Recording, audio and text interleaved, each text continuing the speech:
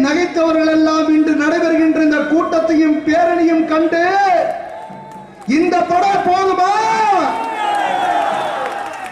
இன்னும் கொஞ்சம் வேணுமா? விஸ்வகர்மா சமுதாயம் எழுந்து நின்றால் இந்த உலகம் ஒருங்கிணைப்போடு இந்த மண்ணின் மைந்தன் எங்களுடைய இயக்கத்தின் தலநாயகன் மனித புனிதர் புரட்சி தலைவர் எம்ஜிஆருடைய அப்பற்ற தொண்டன். எழுச்சியோடு விஸ்வகர்மா இளைஞர்கள் ஆர்ப்பரித்து வந்த காட்சியை நான் உண்மையிலே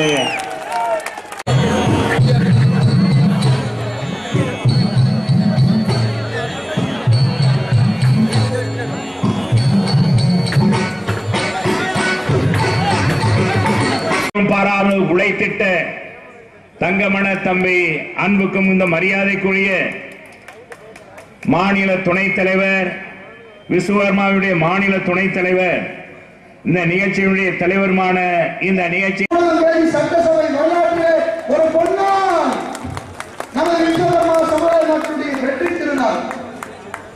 எங்கே தியாகராஜ பவனுக்கு நூத்தி பத்து மில்லியன் கீழ் மணிமண்டபமும் திடீர்னு பாபுஜி பேசுகிறேன். எப்படி இருக்கீங்க? நிகழ்ச்சி நடந்து கொண்டிருக்கிறது. தமிழ்நாட்டில் எல்லா மாவட்டங்களும் வர்றாங்க. எங்க இளைஞர்கள் வருகிறார்கள். எங்களுடைய சமுதாயத்தை சேர்ந்த இளைஞர்கள் ஆர்ப்பரித்து வருகிறார்கள். எனவே அவர்களுக்கெல்லாம் நீங்கள் சரியான பாதுகாப்பு கொடுக்க வேண்டும் சொன்னார்கள். நிச்சயமாக மதுரைக்கு வாருங்கள். அன்போடு நான் சொன்னேன். ஒவ்வொரு முறையும் என்னிடத்தில் சொல்லுவார் எனக்கு அப்படியே மகிழ்ச்சியாக இருக்கும். இப்படிப்பட்ட ஒரு அரசியல் இயக்கத்தில் இருந்திருப்பாரே ஆனால் ஒரு அரசியல் இயக்கத்தில் எங்க எங்க இயக்கத்தில் இருப்பாரா? இவர் இருக்கிற இடமே வேறு. எனவே அந்த அளவுக்கு அவருடைய உழைப்பு அவருடைய தன்னலமற்ற தியாகம் எடுத்த காரியத்தை சிறப்பாக முடிக்க வேண்டும். தங்கராஜ் வருவார். அவரோடு எங்க சங்கத்துக்காரங்களாம் வருவாங்க. முக்கியமா இந்த விஸ்வகர்மா ஜெயந்தி விழா. விஸ்வகர்மா என்றால் விஸ்வ என்றால் ஐந்து கர்மா என்றால் படைத்தல். ஐந்து வகையான தொழில்களை செய்யக்கூடிய இந்த விஸ்வகர்மா சார்ந்த நம்மளுடைய மக்கள். ஏன்னா இதை பற்றி நான் சொல்லணும்னா நிறைய சொல்லணும்.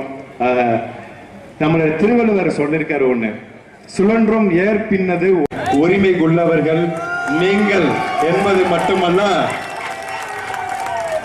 ஆச்சாரியார் என்ற பெயரோடு பெருமையும் சேர்த்து சொல்லுகின்ற உரிமையை நீதிமன்றம் வரை சென்று போராடி பெற்றவர்கள் நீங்கள். ஆனால் நம்மில் பல பேர் ஆச்சாரியார் என்றே எழுதுவதில்லை. ஆசாரி என்று அந்த நாட்டின் அதிபராக இருக்கின்றார். அவருடைய மகளுடைய இல்ல திருமணத்தில் கலந்து கொள்கின்ற நிகழ்ச்சிக்கு நான் சென்ற நேரத்தில் மலேசியாவில் வாழ்கின்ற தமிழர்கள் எப்படி இருந்தார்களோ அந்த நாட்டின் அதிபராக இருக்கின்றார். அவருடைய மகளுடைய இல்ல திருமணத்தில் கலந்து கொள்கின்ற நிகழ்ச்சிக்கு நான் சென்ற நேரத்தில் மலேசியாவில் வாழ்கின்ற தமிழர்கள் எப்படி இருந்தார்களோ